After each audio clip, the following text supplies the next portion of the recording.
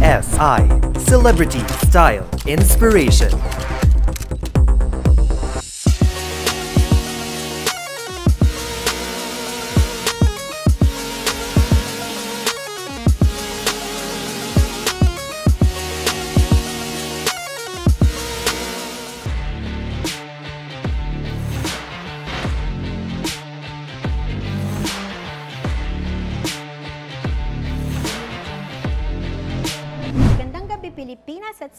Ng nanonood sa buong mundo. This is CSI Celebrity Style and Inspiration. The Manila Times entertainment and lifestyle pages come to life on the Manila Times digital TV. We are now on our sixth episode at maraming maraming salamat sa lahat ng tuloy-tuloy na tumututok sa naiibang programa namin sa digital world. We are grateful as ever sa lahat sa inyo, especially those who continue to like and share our episodes, as well as to those who actively leave their comments on our posts. As we always say, we are a work in progress and value your thoughts about the show to make CSI better as we go along. So wag po kayong bibitaw because we promise to give you fresh insights week after week. You can still watch our past episodes on the Manila Times TV and CSI Facebook pages and through www.manilatimestv.com and manilatimes.net where our daily entertainment and lifestyle sections also appear.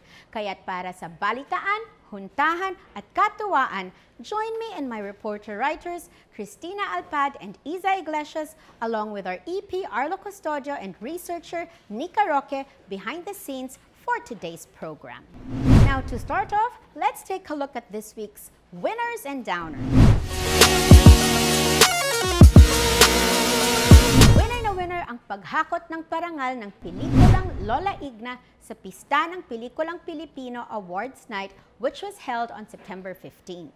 The movie about a foul-mouthed and stubborn woman who is up to win the title The Oldest Living Lola in the World won Best Picture, Best Musical Score, and Best Screenplay. Directed by Eduardo Roy Jr., nanalo ring Best Actress para sa pelikula ang 85-year-old movie veteran na si Angie Ferro. Hakot Award din ang LSS or Last Song Syndrome which bagged the Special Jury Award, Best Original Song, Best Sound Design, and the Pista Audience Choice Award.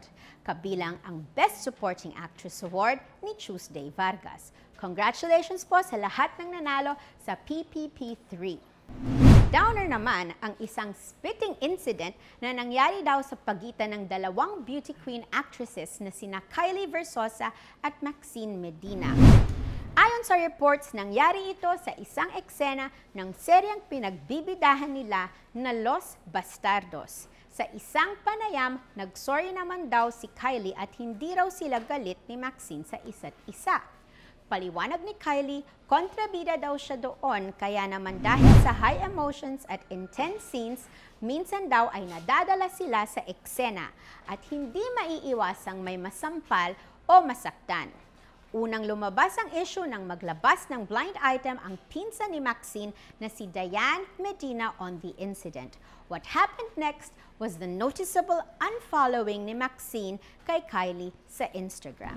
Meanwhile, sa ginanap na ABS-CBN Ball 2019, winner ang mga kapamilya stars na nag-stand out sa red carpet matapos manalo ng special awards wearing a sexy black lace modern Filipiniana with a slit that was thigh-high talaga, was Best Dressed Female of the Night, Bea Alonzo.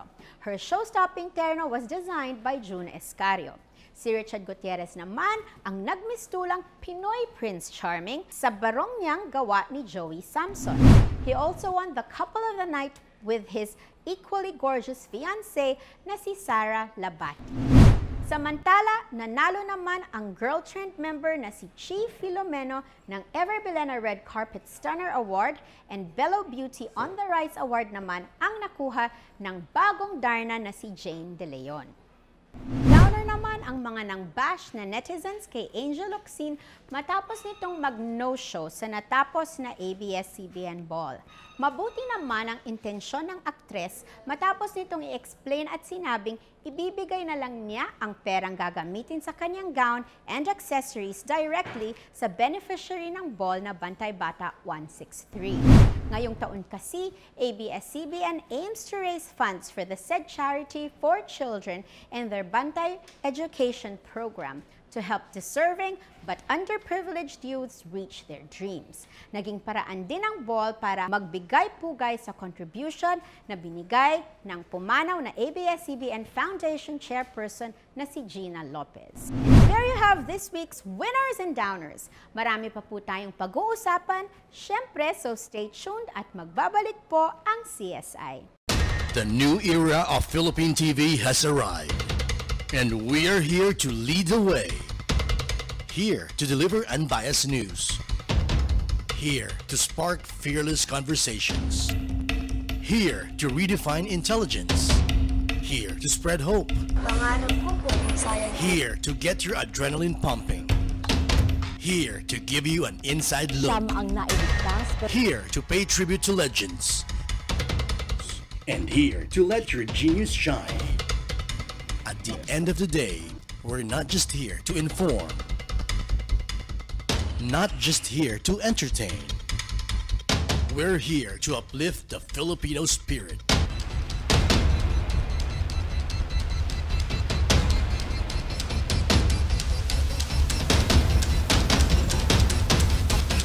The Manila Times TV. Aspirational. Inspirational. CSI Celebrity Style Inspiration.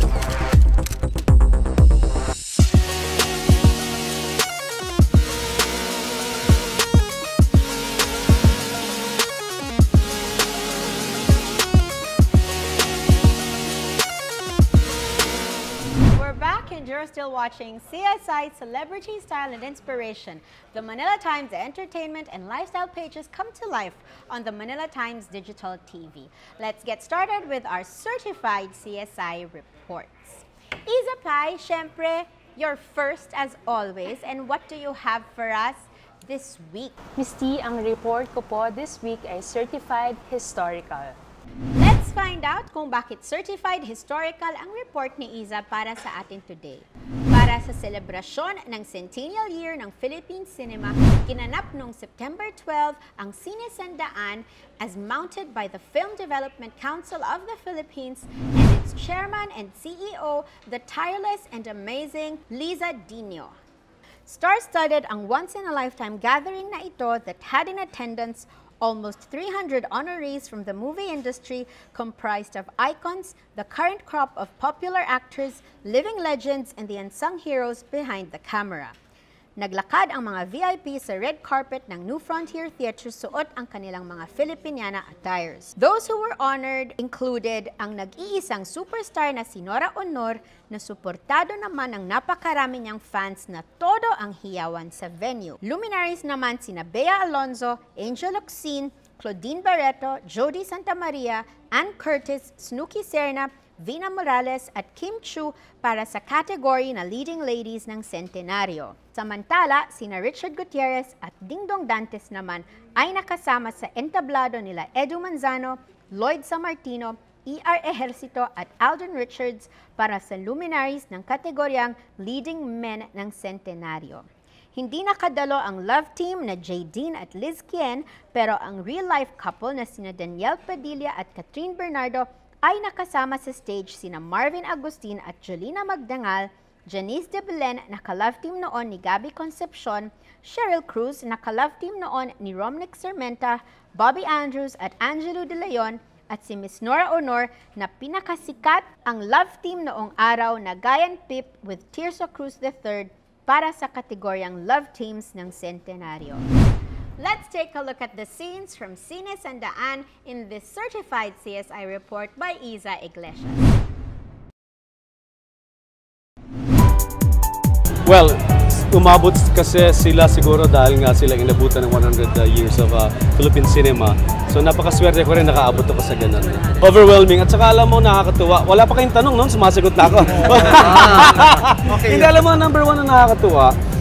Well, uh, modesty aside, medyo ang dami ko na rin mga international um, uh, mga festivals na na-attendan.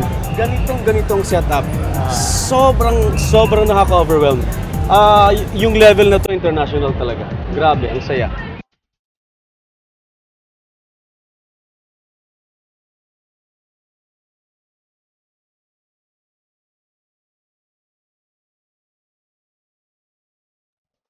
Kung yung passion, eh wala kayo nun at gusto nyo lang pumunta dito, gusto nyo sumikat, gusto nyo magkapera, gusto nyo makilala ng tao, eh hindi ito ang mundo para sa inyo.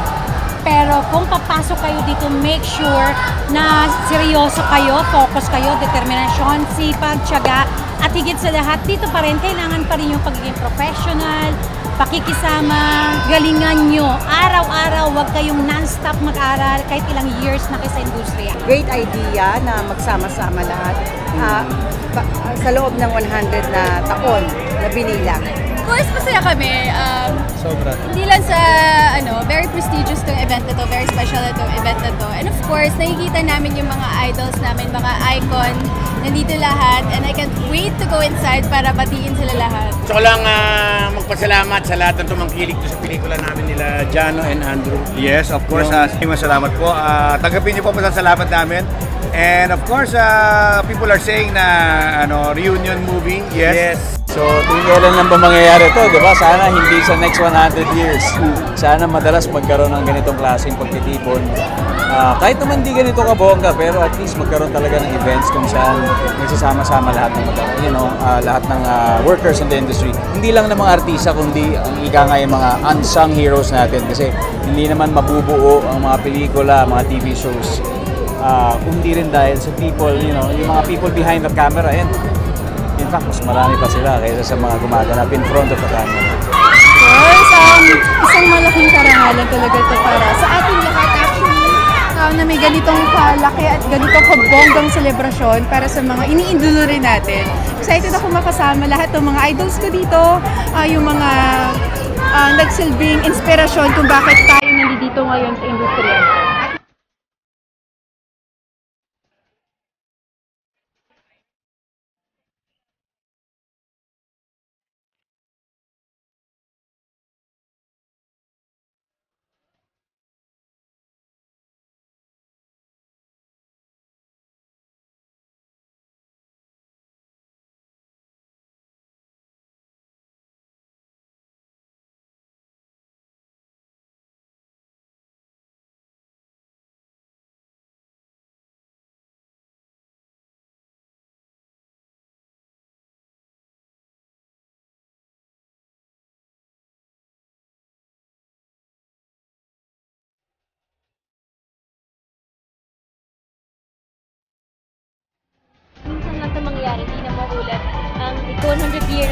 Cinema and para maka, mapabilang kami doon, malaking bagay po yun para sa amin. And kanina lang namin nalaman na kami yung youngest pala to receive the, uh, parang sa love team po ata na category. So, nakakatuwa um, and excited ako na makita yung mga iniidolo natin artista pagpasok mamaya sa loob. Ang mga bida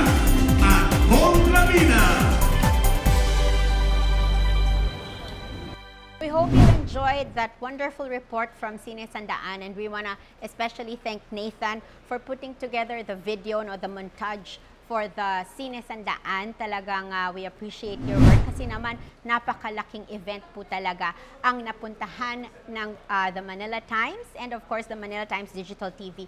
Isa, congratulations on that uh, on that wonderful coverage na actually po, pakita mo sa kanila, Iza.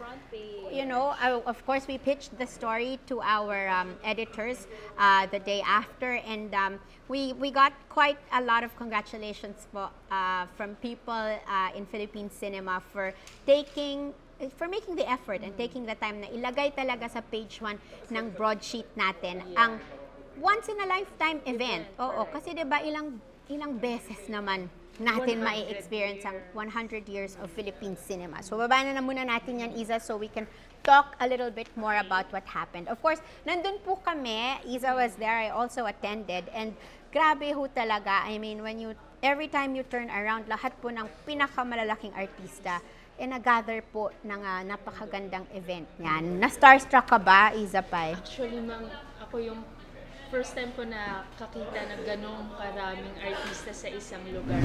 Yes. Sa lahat ng napuntahan kong coverage ever, doon ako na pinaka na stars. That's very true kasi sabi nga nila, uh, tulad ng sabi ni Chairman Liza of the FDCP, that evening totoong walang networks, walang iba-ibang networks, walang political affiliations. Talaga lang pong everyone came together to celebrate the 100 years of Philippine cinema. Um, ang maganda dyan, uh, I think, no, Isa, nagsisimula na rin talagang maging one uh, community ang uh, ating mga artista, ating mga director. Kasi nga, um, we've discussed this before, minsan pag may mga industry events, uh, lalo na yung may mga parangal, may mga awards, minsan hindi talaga pumupunta yung ibang artista kasi hindi nila alam kung mananalo sila o hindi. Pero, Isa, how was uh, the pagbibigay parangal, nakarating ba ang halos lahat ng mga binigyan ng awards ng ah, FDCP? Gusti halos lahat nandoon. Um, from mga starting na artista pa lang, yung mga icons, yung mga legends, pati yung mga nag-work behind the camera. Lahat sila pinangaral, pinangaralan talaga ng FDCP and sobrang hangang-hanga sila, yung mga artista sa effort talaga na binigay ni FDCP Chair Yes. Liza Dino. Oo. Talagang high praise sila kasi grabe yung pagkagawa nung sa New Frontier pa lang na design. Mhm. Pati facade, facade, 'di ba? Even the facade was uh, changed into an uh, 1920 na Art Deco yung uh, kanyang facade kasi ganun daw po ang mga sinehan uh, dito sa Pilipinas noong uh, 19 Ah, tama ba ko? 1920s. Tama, oo. Um, pero Isa Pai, ah, ano naman ang masasabi mo? Apparently, there were some people who had a little bit to say because inabot yata ng 2 a.m. yung programa. Ma'am, actually kami, yung team natin sa ah, Manila Times TV, hindi na nga tinapos yung event kasi mga 12.30 na kami nakauwi dahil sobrang haba nga nung, ah, nung event. Pero okay lang kasi yung ibang nagstay pa rin talaga dahil bandang dulo naman na daw Oo. na-awardan yung mga malalaking artista. rin. Yes, syempre, um, di ba nga sabi nila kasi save the best for last. So the bigger star that you are, the later on in the Yeah. program you will appear, di ba? Pero kasi nga, um, you know, ang hirap din sa events na ganito, syempre, much as you wanna start on time, in the Philippines, you have to contend with traffic, of course, you have to contend with Filipino time, pero I think um, more and more, no, um, syempre coming from yung Society of Philippine Entertainment Editors that mounts the Eddies Awards, third year na namin, talaga naman isa to sa mga advocacies ng aming grupo na maparating talaga yung mga artista na sama-sama, whether manalo ka, hindi, paparangalan ka or hindi. Kasi kailangan talaga magkaisa because uh, I think it is only in this way that you know, we will all be able to, talagang we, di ba, hindi naman tayo artista, but at least our industry that we are part of, that we write about, I think that's the way talaga na we can take talaga the next step na talagang gustong-gusto nating lahat to go global, 'di ba? Ah, so pag nagkaisa tayo, totoo naman that we can do so much. Para sa iyo, Iza, ah, with all these big stars there's who do you think was the star of the night? Siyempre, nag-iisang superstar, si Miss Nora Honor. Talagang pagpasok pa lang niya, naglakas siya sa red carpet. Sobrang dami ng fans niya Mhm. naghihiyawan. Mhm. And then, sa screen dun sa loob ng program, parang kada labas ng mga eksena niya, ng mga nakaraang palabas niya before, talaga yung mga fans niya, may mga banners and all.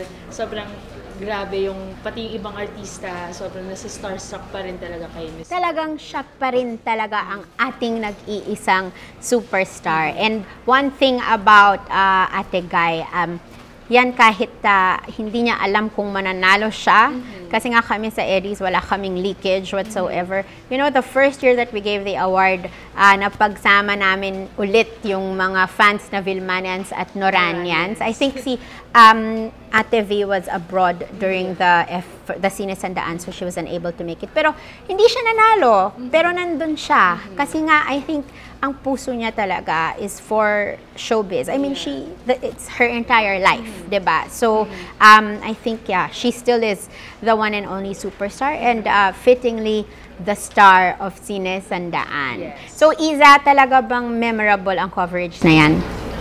Para sa akin, ma'am, super memorable siya. Mhm. Parang yun yung pinaka-highlight ng lahat ng mga naging coverage ko ah, during my time here sa Manila.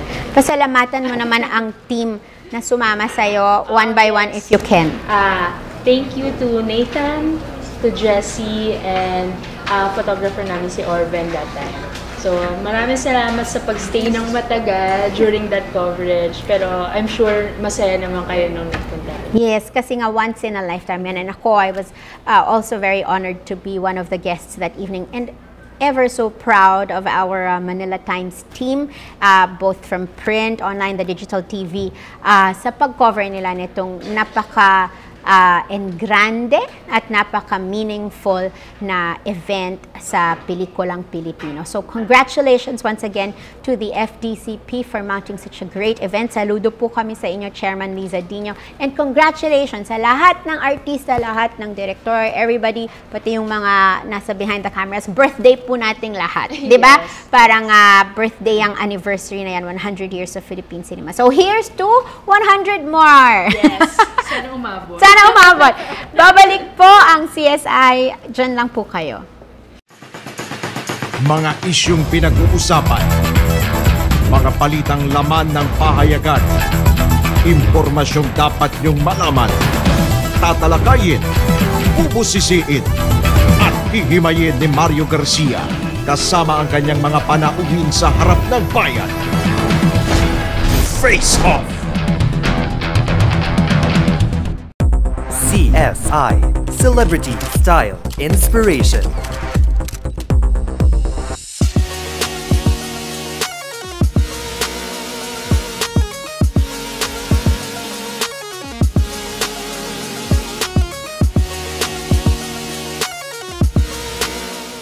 Welcome back to CSI and of course it's the every other week of our program at meron na naman po tayong ipi-playtimes, hashtag playtimes today uh, due to insistent public demand, mostly demand po ng aming mga kamag-anak yan. So, uh, ito na po, uh, iniisip ko pa, sino kayang pupuntahan ko? Siyempre, dyan na lang ako pupunta sa aming napakagandang napakagandang supplements editor. Buti nag-lipstick ka kanina.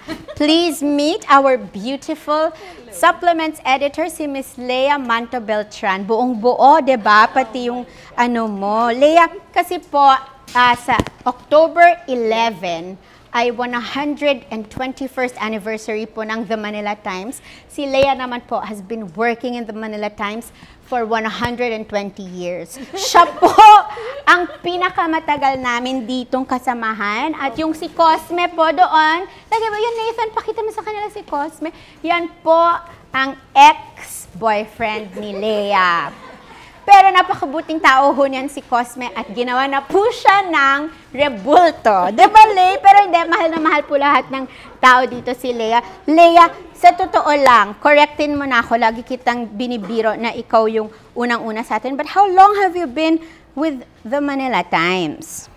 Uh, since Daa uh, bought Manila Times. So Since Daa bought 14 Manila Times. 14 or 15 Yes, so no more than, kasi 2000, 19, mga 19 years. 2001. I've been with the company for 19 years, but with the, uh, uh, with the Manila Times, it's 15 years. 15 years, okay. Um, as you notice, I need to speak to Leia in English. diba? Siya lang. So, Le- Del- Natawa ko doon. So, um, diba you were also with them when they had uh, their tabloid, no, for OFWs. It's called Kabayan. Oh. So, sino naman ang favorite mo sa dalawang Dante Ang? Si Dante Ang the first senior, si Dr. Dante Ang ba, whom we call DAA, ang ating chairman emeritus, or si Mr. Dante Ang the second, aka Sir Clink. Si Mr. Michael Ang. Wow! Talaga ha? Anyway, oh, si um, Maa uh, is uh, the second son, of course, of uh, Dr. Dante Ang. Nako, Lay, baka ma mag-sell sang The Dashing Dante Angs, di ba? Hindi, biro lang. Pero what do you love most about working for the Angs? And of course, the Manila Times. Of course, working po sa Manila Times, eh talaga namang, kumbaga, it's legacy na po talaga yung dyaryo na to na 121 years. Kaya for me, as a journalist, isang manunulat, isa pong karangalan na maging isa sa mga empleyado ng Manila Times. I agree. And of course, it's Leia who uh, is on top of our anniversary issue every year. Yan po ay minsan umaabot sa napakaraming ano, napakaraming Last year pages. po, nakaabot po tayo ng 116 pages and we're aiming for 121 sana or more Wow. this year. And of course, ibig sabihin lang yan, Lea, wala ka na namang tulog. Tayo pong lahat. Tayong lahat. Opo. Ah, pero at the end of the day, um, syempre, we really hope our readers and of course, our online audience will enjoy what they will read on that special day. Personal life naman, Le. ano naman ang pangalan ng boyfriend mo na ex-boyfriend mo pala na asawa mo na ngayon? Ferdy Beltran po. Oh, sabi mo kay. Papa Ferdy. Hi, Ferdy. Hi, Papa Ferdy. And of course, si Leia po, dalawa rin ho ang anak niya, pareho ko, na dalawang Lalaki. lalaki. Si Ivan at si Ian. Oh, nakapagpag-graduate na po si Leia. Yung panganay niya ay isa ng IT. IT. professional na po. Nag-work na po siya and my second is on his fourth year as a nurse. Yun po, ah, nursing student po siya. Lahat po yan eh, with the Manila Times po yan. So, You mean that with the help po of the yung- Manila yes, Times? kapartner po namin yung Manila Times. Nakakaiyak ka naman. Na-touch naman ako, Le. So, if one thing po na ah, for the anniversary na pinagpapasalamat ko is that yun nga po, nakapagpaari po ako ng dalawa kong anak. Wow. With the Manila Times. And ang ganda-ganda mo pa rin. Di ba kahit 120 years na Siyempre po, taga ang Manila nakakalipas. Okay, so Lay, ang saya-saya ng playtimes natin with you. Um, ulitin ko rin to para marami ka pang makwento tungkol sa love life mo naman. Okay, so there you have our lovely, wonderful, and walang pagod, tama ba, na supplements editor, si Miss Manto Beltran. We'll be right back with your certified CSI reports.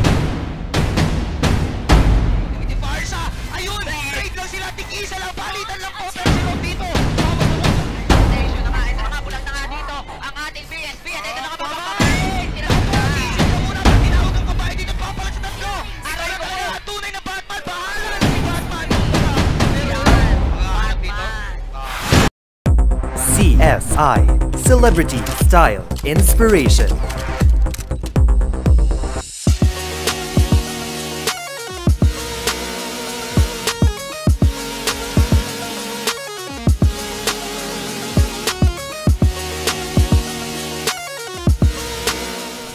We're back on CSI and let's find out naman po kay Tina Pai kung ano ang kanyang certified CSI report for the week. Hello, Tina. Hi, Miss T. I love your outfit. Thank you po. You look like a Latina. Latina. Diba? Bakit ka naman blooming ngayon?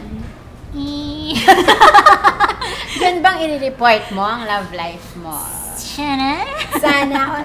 Ne- pero magkakaroon ka na, I'm sure. Say hello to the boys. Hi, boys. Hi. You know who you are. You Char. know who you are. Oh my God. O sige, ikwento mo yan sa akin mamaya in private. But for now, do let me know what is your CSI report for the week. Mm-hmm. Miss T, for the week, ang aking report ay certified, young, and free. From being an exclusive Viva artist for the past seven years, James Reid is now on his own. Last month, rumors circulated that James left the talent management that made him and his real-life girlfriend Nadine Lustre's love team a household name. Though neither camp released official statements for the alleged separation, CSI caught James in his latest brand endorsement event and there he openly shared how life has been since being free from Viva's stable. What are the challenges of being on his own? Ano naman ang mga pluses? And what does it mean exactly that he is now managing his own career? Alamin natin sa Certified CSI Report ni Christina Alpad. Um, no, I just didn't renew, but I'm, you know, focusing on other things now. How is Nadine? What did how did she react? Um, I think you should ask her about that. Okay, how is your re- relationship with her working relationship affected by you being independent? Um, affected at all right now. Um, we're still working together. We're all on good terms, which is great. Um, I just have a bit more freedom now. That's all. Who manages here in Philippines? Currently, it's just me. Yes. But do you have plans to be managed? Or are there plans to go under another? No, I, don't- I don't think so. I I like having the freedom right now. So. How does it feel to be your own manager? Your, your own Um, it's great, but it's also scary knowing that it's just me. But um, I'm focusing a lot on my music label right now. I want to give it a chance. I want to see how far I can take my music, and I have big plans for it. Do you have upcoming projects with um, big networks? Um, I plan to still do movies. I'm not. I'm not giving up show business or anything. I still plan to do movies. Just waiting for the right project. What new teleseries would you escape? Is there an ongoing project? Not right now, no. In the works? James, what's the reward of being on your own in terms of your career? I mean, of managing yourself. Um, there's there's both uh, benefits and I mean the rewards would have to be, you know, having the freedom to make um, choices, but there is that lack of management and that the system, which is also very difficult. Is it true that you're gonna transfer to GMA? No, no. I've had a lot of time to focus on music, which is great because we have, um, well, under Careless, we have music coming out Yeah. once a week. We have new tracks coming out, which is very exciting. Alright. And perhaps what is your current challenge in producing your own music? My current challenge is Yeah. that I need more producers. so if there's anyone out there that wants to work and create music, please let me know. I think it's important to take time to like. There is someone said earlier. There's a time for everything, and sometimes it's a time to just sit back and relax. Sometimes it's a time to go 100%. So I think you just really have to trust the process. There's a time for everything. And that's something what that I you've learned. learned, especially with your career, So taking- there's no pressure. It's like just do whatever you feel is right at the moment. And it was done well by you. Thank you. Yeah, thank you very much. How much. do you manage your time? right, manage my time. Um, I have a lot of people supporting me. I have a team. I have my family, my friends, my girlfriend, and if it was just me alone, I wouldn't be able to manage it with all the things I'm doing. But I have a lot of people to thank. How do you spend quality time with Nadine? Um, well, for us, when we get the chance, we like to get away from the city, um, out of the country where people, you know, don't know us, somewhere we can be truly private. yeah. OMG, at talagang ako rin po medyo nagulat sa report na to. Tina, hindi alam ng marami na si Mhm. James Reid has actually left the stable of Viva Artists. Yes po. Um, That is big news. Yes, and nakakagulat din po kasi um, we check even online, medyo konti lang din yung sources or websites na nakakuha ng news na ito. Maybe we will not be aware of Mhm. yung chain of events no na nag-lead sa kanyang Mhm. pag-alis sa Viva Artists. Pero ah, ano sa tingin mo, Tina, was the biggest sign that something was about to happen? Mhm. Um, kung matatandaan po, yung ah, remake ng Pedro Penduko, natap doon si James Reid na maging bida. Pero in um, a few months before, sabi, ah, nag-bow out na po siya. Nag-bow down na siya sa role at hindi na daw siya gagawa ng remake. Oo That's nga. one. Nakakagulat yun kasi parang, you know, uh, this was meant to be the big parang solo star of James Reid. Kasi Mm. of course, before alam po nating lahat that his past movies, they were bu- blockbusters, Mm. pero ang kasama niya dyan, syempre, ang kanyang real-life girlfriend na si Nadine Lustre. Paano niyang, paano siya nagkwento sa inyo during the interview na wala na siya, Mm. parang may hina-hold back ba siya or was he very open? Do you think, ha? I mean, we, of course, we all saw the video, but yung feeling mo right right there, Mhm. open ba siya? Very open. Hindi naman siya nag-leave ng um, any na parang sinasa ah, tag ito, parang hindi siya vague kumbaga. And very confident if we can say that sa kanyang yung pagsasabi niya ng plano niya, yung nararamdaman niya, very open and confident. Yun po yung masasabi. Pero wala namang sign na si Nadine might follow suit. Parang wala. Actually, funny kasi kung nakita po nila sa video, sinabi nga ni James na better siguro kung si Nadine yung tanungin kung ano yung reaction niya regarding that. Very, kasi ever since straight to the point talaga si James pagdating sa mga Q&A. And then, um, hindi lang nasama sa video, pero sinabi niya supportive yung girlfriend niya. And in fact, um, isa siya sa mga nagbigay ng todo suporta when he needs. So, ano ang plano ni James? Uh, of course, we know that besides acting in the movies, he's also a singer, di ba? Yes, So, yes. ano bang sa tingin mo now that he's on his own and free to make his own decisions regarding his career? Ano ang kanyang uh, i-prioritize? Mhm. Ah, actually, ah, kung pwede ko pong balikan yung tanong nyo kanina na kung ano yung mga signs. Last year kasi, he built his own re- record label. Ah, oo nga. I Oo, remember, yun. So, parang simula po na medyo mas nag-focus na siya sa kanyang music. And then, yun din naman yung sabi niya na it excites him kung ano yung pa yung pwede niyang gawin kasi ngayon mas focus na siya sa music career niya.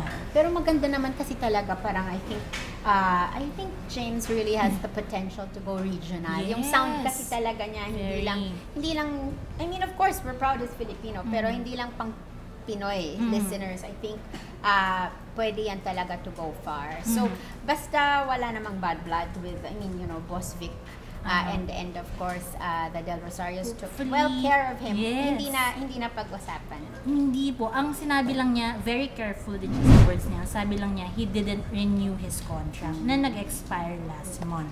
Yun lang, very cautious siya doon. Oo. Pero mukhang wala naman. Siguro yung pinaka-hint lang is that walang um, formal na announcement Oo. from Viva as Yun well. kasi nakakagulat. Maybe that's one thing that we could actually ask our friends from Viva Mhm. uh, very soon kung ano nga ba ang nangyari talaga kay James. But Yeah. then, you know, if everybody's happy with it, sometimes nga sabi nila, if it ain't broke, don't fix it. Kung okay Yes. naman sila nag-part ways, maganda na rin minsan wag na natin silang intrigahin. So, maybe what we should really do is wish James Mhm. um, good luck at sa ito sa bagong chapter ng kanyang career. Yes. Um, mahirap maging big boy, 'di ba? Yes. Parang Mhm. lalo na lahat ng mga uh, you know, maybe even his schedules were Yes. worked out for him by the management, lahat-lahat 'yan. Pero tingin natin mukhang determined eh. Tina, you Aha. agree? Yes po, very determined. And sa fans, huwag silang matatakot or malulungkot na baka mas konti na yung projects. Nag-promise naman yung idol nila that he'll still be very visible. Okay, well that's good to know. And uh, again, we wish James Reid all the best and his uh, new adventure sa kanyang career. Magbabalik po ang CSI. Thank you, Tina, for your report. Thank you po. CSI Celebrity Style Inspiration.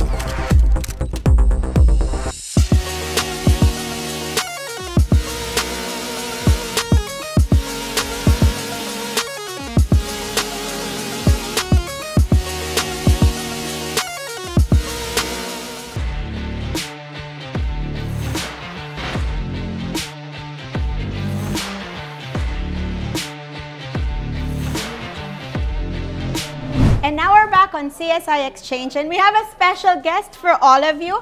Ah, nandito po ang President and CEO ng The Manila Times, Sir Clink, Mr. Dante Ang the second. Hi, Sir Clink. Hi, we asked you Tessa. here You guys because are hard at work. because we want yeah we are hard at work and we want to know how do you think we're doing? Oh, well, he can't say. of course you're doing very well. Thank you. Sabi ni And boss, di ba? Thank you to everyone. Yes. Uh, as instructed. Yes. Oh, meron Special greetings to the dad of Nika. Yay! Oh, Nika's dad ha, pinaka number one ang nag-greet sa'yo. So, Okay. thank you, Sir Clink. And my mom. And your mom. Oh my God, yeah, she also watches. She also watches us. Hi, Tita. Uh, and hope you're enjoying the show. So, Sir Clink, kailan ka namin masi-sit down for a one-on-one interview? Well, siguro, ano, Pag may movie ka na? Yeah, I'm Okay. gonna change careers. We're gonna work on that. But no, actually, pretty soon we will have uh, Sir Clink on the show because our anniversary is coming up on October, in October, on October 12. Diba, Sir Clink? So, yes. Thank you very much, Okay, girls. thank you. Thank you, sir. Diba? Yan po ang aming President and CEO of the Manila Times ah, na ating nakasama today. So, Nika, ibang klase naman ng level level ng greeting for your dad. Ano naman masasabi mo? Two thumbs up. Two thumbs up! siya si Nika Ho kasi hindi siya kumakain ng rice.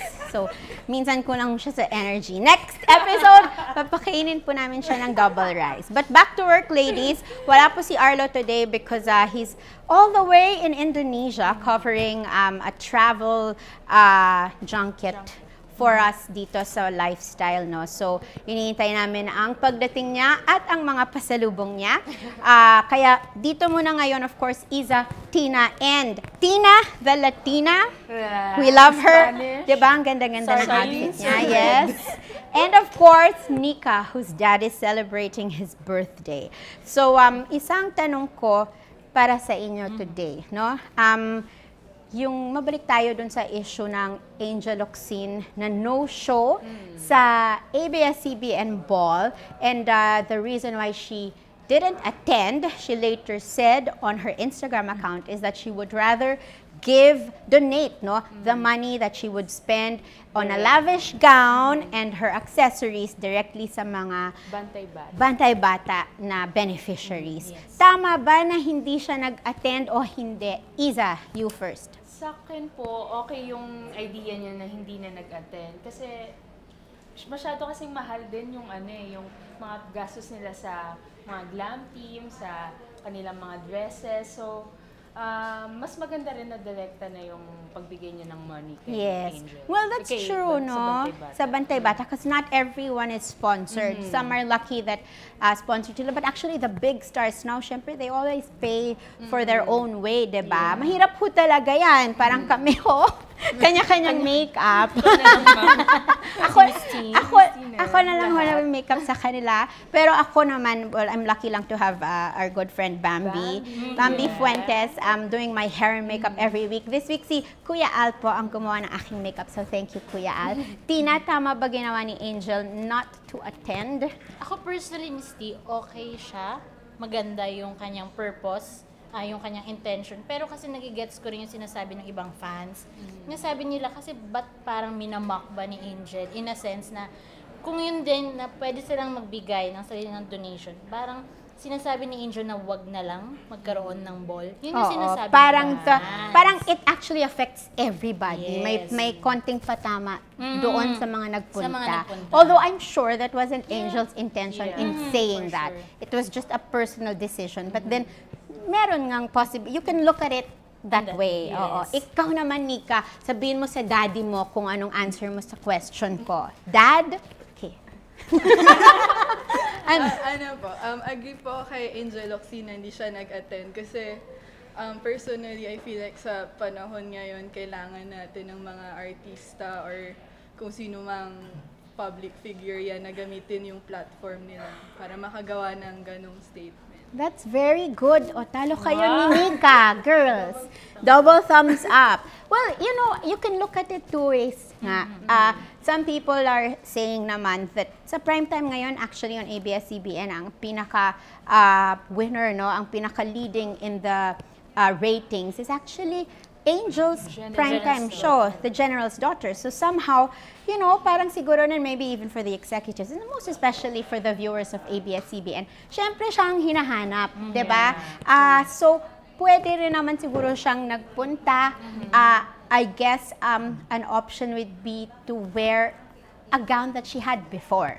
Di ba yung mga tao nga, um, celebrities, personalities, sometimes they really come out and say, oh, I wore this so many years ago, and you know, I just wanted to save a little bit of money, so yan ang ginawa ko. And yung sa kanya nga maganda kasi i-donate niya. So, um, may mga paraan naman na pwedeng hindi naman siya totally hindi nag-attend only because of the uh, of her stature right now. And you know siya yung siya kumbaga siyang primetime queen ngayon eh dahil yung show niya ang ang number one sa ABS-CBN but we know Angel's heart kasi uh, naalala nyo pagka may mga uh, tragedies may mga bagyo she's always Una. been there. And when all the way to the war-torn areas in Mindanao 'di ba? Siya talaga nagpupunta and and ka, oftentimes wala naman hong news coverage and she Yeah. really just does it out of the goodness of her heart. So, I guess hindi lang niya masyadong napag-isipan maybe the way she phrased it, Yeah. but her intentions are good and malay mo naman next year ah, mag-attend na siya ah, sa ABS-CBN Ball pero mauuna yata ang kasal. Oo nga, malapit na. Hindi ba? Oo. Pero anyway, meron tayong isang habol because ah, isa sa mga stories natin kanina sa winners and downers, yung spitting incident ng dalawang beauty queens na si Kylie at Maxine. Yes, at Maxine sa Los Bastardos. And just just today, in her dress, in her Latina dress, eh, nagpunta si Tina sa isang um, Thanksgiving party ng Los, Los Bastardos. Bastardos, yes. I mean, we'll find out more about it in our next show, of course, because we still have to go through your videos. But can you just tell us, uh, napag-usapan ba tong spitting incident with the rest of the cast present? Yes po, ah maliban kila Kylie at saka kay Maxine na nagbigay ng comment nila, pati si Jake Cuenca eh nakibigay din ng kanyang ah, sentiments tungkol sa incident. And then, ang sabi naman niya, it's natural, pero sana, um, ang comment niya, sana na pag-usapan between the two girls. Mm-hmm. Ha. Although kasi girlfriend niya si ano eh. Si baka- Kylie. Yes. Hindi, pero kasi medyo pero may, may gray area dyan eh. Paano kung hindi... Ah, 'cause she did the spitting. Siya yon no? Si so, Kylie. Si Kylie. Si Kylie. So, either hindi niya naisip na nagawa niya because of the emotions or sana ba sinabi na lang sa kanya ni Maxine ah, na I didn't like how you That's another- delivered the line na may spitting-spitting. Yes. Anong sa tingin nyo? Dapat ba sinabi na lang ni Kylie, ke, ay ni Maxine, kesa nag-away-away pa sila sa... Hindi naman away-away, pero nalaman na lang ng lahat because of an Instagram... Yeah. Yes, blind, yes. oo, oo. Ako, siguro sana napag-usapan before mag-shoot. Kasi Mm-mm. kung ako yung si Maxine, medyo ma-hurt ako sa nangyari. Kasi hindi naman niya expected na may ganong eksena silang gagawin, di ba? And Mm-mm. siguro, dahil na rin siguro sa emotions nila na nadala dun sa mga eksena, Mm-mm. nagawa ni Kylie yun. Pero for me personally, parang hindi ko matatanggap yung gano'n. Yung ganon. Oo. Ikaw? Sana sinabi agad ni Maxine kay Kylie na hindi niya nagustuhan after mismo nung pag-take ng eksena. Oo. Kasi nalaman pa niya sa social media nga. And in return, si, um, nalilito na ako sana, si Kylie nag-apologize daw four days pa after the incident. Ah, Medyo okay. matagal. Okay. O, ikaw naman, Nika. What's your take Um, on it? Agree po ako sa kanila, ma'am, na dapat um, right after pa lang pinag-usapan na Mm-mm. in-explain na ni Kylie na Sinabi, character kung hindi pala kasi niya nala, siguro kasi ang medyo gray area dyan, hindi yat, malay mo hindi kasi naisip ni, you know, par, probably si Kylie hindi niya na-realize na nagawa niya. Sometimes, pwede rin. sabi ng mga artista, not that we know, di ba? Nadadala ka sa emotions mo. So, you know, sometimes nga, even after a cut daw, tapos na yung take, they can't immediately get out of character Yeah. if masyado silang nadadala ng emotions. But maybe she didn't know, maybe Maxine could have told her. I guess Yes. that's the 1st step, 'di ba? Tapos um ewan ko ang hirap niyan. Kasi tuloy-tuloy pa rin ang show. Tapos ano pa sila? Sisters pa sila sa pageant, Pageant. world. But if anything, nakatulong din para medyo pag-usapan ng tao yung, yung show. show. Oo nga. Nagkakaroon ng buzz ngayon. Lalo na approaching na daw sila sa kanilang finale. Pero how has the how has the show been doing ba since it started? It's getting better po in terms of rating. Oo. Tapos behind the camera naman din, kaya parang okay lang. Kasi ang ganda nung samahan nila. Kahit kanina, kung makikita natin sa video, sobrang saya lang close. nila, super close sila. Okay. So itong incident na to, eh, mukhang ano lang, challenge Matagal-tagal na rin ata yung Lost Oo, matagal na yung It's show. going on a year na. A year Oo. na. Okay. Well, that's one of the, parang it's an afternoon uh, program pero medyo risky ang kanyang, uh, ang storyline niya. It's an ab- adaptation of a Mexican, tama? Mexican? Sa ano po, pocketbook. Pocketbook, oh sorry. So, hindi pa siya nagawa sa, ano? Ah, okay. Okay, I stand corrected. Sorry. hindi ko ho nabasa ang kopyang yon ng Precious Hearts. But yes, so, ang I guess, uh, both um, both of the topics we discussed today, kitang-kita natin, ang root lang naman ay medyo a little bit of misunderstanding. But hopefully, yung mga ganitong bagay, mabilis na nilang ma-resolve ah, since maganda nga na pag-usapan nila. And in front of the media pa. Yes. Di ba? Yung kay Angel, tingin ko naman it's just gonna die down um, very soon. Alam naman natin na si Angel is one of the most uh, kind, the most generous na mga celebrities natin today. So thank you girls for your insights sa ating mga interesting topics for CSI Exchange. And ang amin pong supplements editor na si Miss Lea Beltran, kinorek po ako, nanonood kasi siya dyan ng aming taping. At sabi niya, our anniversary is not on October the 12th, as I said when uh, Mr. Ang was here, but it's actually tama naman siya on October 11. Pang ilan na natin, Leia? 121st uh, anniversary na po ng The Manila Times. So uh, expect a really great issue on that day, of course, pati sa online. Lalabas din po yan sa manilatimes.net and I'm sure also on the digital TV, meron din po tayong mga gagawing specials dyan. Headed always by Leah Beltran. Ayan, okay? So there you have CSI Celebrity Style and Inspiration.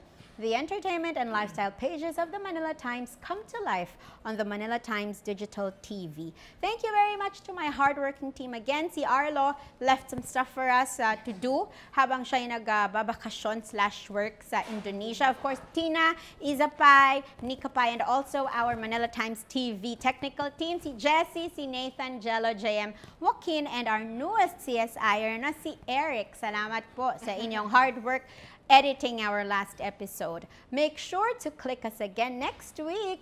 See you CSIers and good evening. Bye! Happy birthday!